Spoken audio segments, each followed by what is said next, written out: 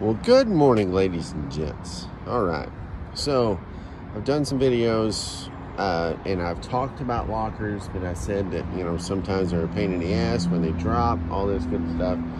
But I never have actually um, gone through. I got time today, so I figured we're going to drop one and show you how to fix it. So, all right. When you have the two splines on your shaft, that means you have a locker inside. It's an axle lock. It means both tires are going to spin at the same time, not a differential lock that, you know, locks both axles in. Okay. So the first thing we're going to do, just like always, is we're going to take our washers off, put them nicely somewhere. Oh, getting a call. I'm going to do that real quick and then take these wedges off and then put my gasket. Well, as you can see, everything looks wonderful in this hole and everything will slide through appropriately all the way across. Let's fix that. Well, not fix it. We're, we're gonna break it. You see this here?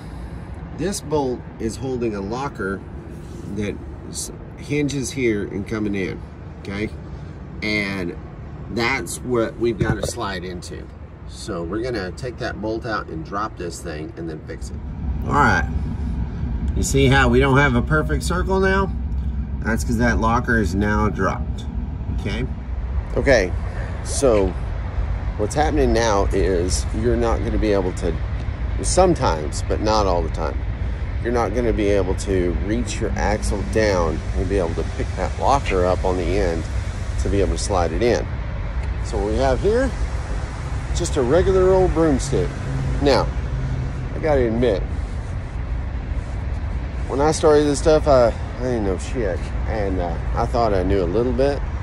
And then uh, I was actually on my very first load by myself, and I thought it was just broken or something. And uh, I called, and uh, of course, Dave Skeen said, You're an idiot. And uh, grab a broomstick, blah, blah, blah, stick it in there, prop it up, everything's good go yeah, I had to learn the hard way and eat some crow. I always listen to people, everybody, because somebody has ran into a situation and they figured out a way to get out of it. And that's why. But anyhow, okay. So, all right. So we're going to take our broomstick and we're going to go in. Okay. And then we're going to push it down. Okay. I take the axle lay on there because it holds it up. And then a lot of times if it's already dropped, you have to back that out. And then I tighten up the bolt, which is a 5 8 bolt. So hold on, this takes a while. And as you can see, it's not focusing, but anywho, now we've got her back up straight and locked in. Let's put her axle in.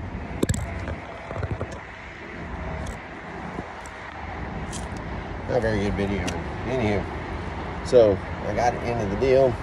Now all I got to do is pick it up, pop it in, twist a little bit. Bob's your uncle. We're done. That's how you fix a dropped locker. Yeah, by the way, I didn't tell you this, but I have told you before. You see these wedges? They go in first then the washer.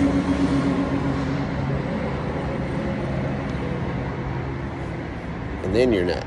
Now, you see how that's got two sides?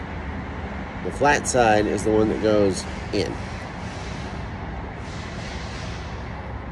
I realized that was probably a little kindergarten for most of the people watching this video. So, but I wanted to say just in case there's nobody who's ever done these. Also, to clarify, you don't have to have this side out to be able to do that. I just went ahead and took the cover off and everything. That way you could see all the way through there and see the locker actually being down. On to the next trick. You see how these aren't quite lined up? They, uh, they're just not. Well, I'm not tough enough, actually. Some of them I am, but some of these are just super tough. So to adjust you up. Just double check. So, nope, not gonna happen. But I got this here wrench. Now, I'm gonna put it over here in the drive line. And I'm gonna spin it just a little bit. And in, pop, there she goes. Um, for those who don't know, these are drive lines, U joints. This is actually your differential. That's what up there, what locks the axles in together so they both turn at the same time. So, all right, that's enough fun facts for the day. I can better get to work. All right, so after we get that done, everything in, take the bolt out. That's trash. Okay. These fittings are usually with the keys on Kenworths and then on uh, Freightliners, they usually stick them back in the hose that attaches to it. So get that back out of the way. So you just go ahead and screw the fitting back in there. And then I'll tighten it up. And then you put the hose on there, tighten all that up. Freightliners, you still have to clip the uh, thingy in there, or the electrical to it. Um, but yeah, so there's, all right, so there's also a few different ways. This is my way of doing it, just with the broomstick.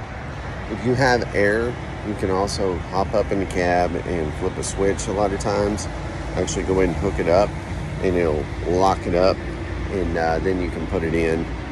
Um, there, there's just different ways that you can do it but this is my way and it's the easiest way because if you don't have air you don't have the trucks able to do it and I don't know. So anyway go back down decking it's really really nice. It's only like 64 degrees out here. I love it